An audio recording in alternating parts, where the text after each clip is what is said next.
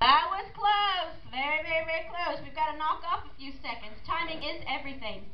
Angels, at ease.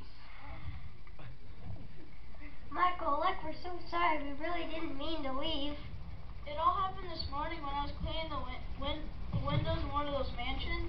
Me too. Whenever I looked out the window at God's awesome creation, me and Halo just had to get out there. Next thing I knew, we were carving the clouds. We were so happening. Bravo, Halo, look, I know you didn't mean any harm. Go ahead and get back in line. Just promise me, really promise me, that from now on you two will wait patiently and follow the Father's orders.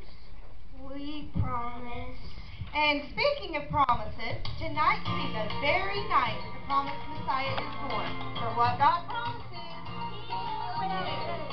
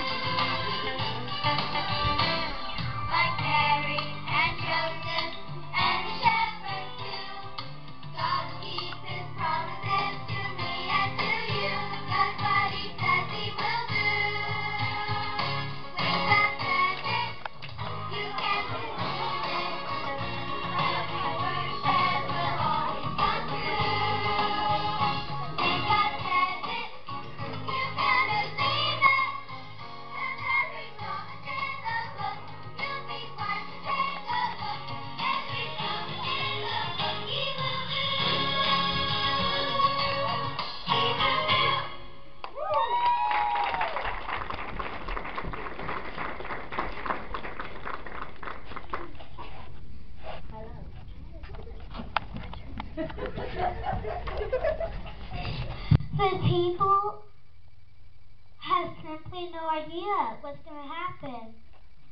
Honestly, no idea. If you might remember the prophecy of Isaiah.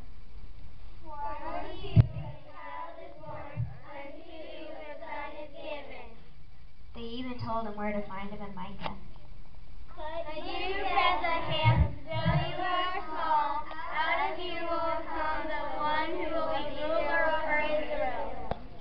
one look at Bethlehem and said to himself, I think not. No ruler out of this tiny will come out of this tiny place. They can't just say they don't like the town and forget it. It's God's word. It's the truth. Well, they are lost people. They are like sheep without a shepherd. That's why the Father is sending His Son. And by the way, I'll let you in on a little secret. I know His name. They will call Him Jesus. Jesus.